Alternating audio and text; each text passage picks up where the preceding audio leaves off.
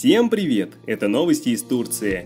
Турции заменят мир на Трой. Москва и Анкара нашли альтернативу российской платежной системе. Центральными банками России и Турции активно обсуждается переход на предложенную ЦБ Турции внутреннюю платежную систему Трой, которая не будет зависеть от санкционной политики Запада и позволит российским туристам беспрепятственно оплачивать покупки на отдыхе.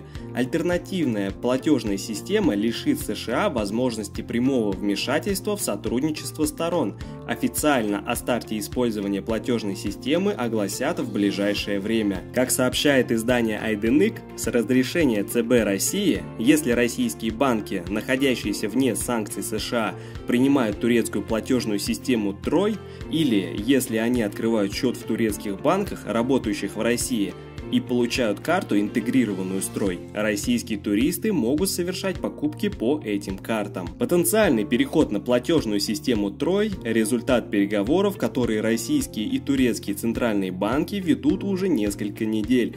Проблемы с использованием российских карт в Турции начались неделю назад в связи с публикацией Минфином США документа о готовности вводить санкции за поддержку карт МИР за пределами России.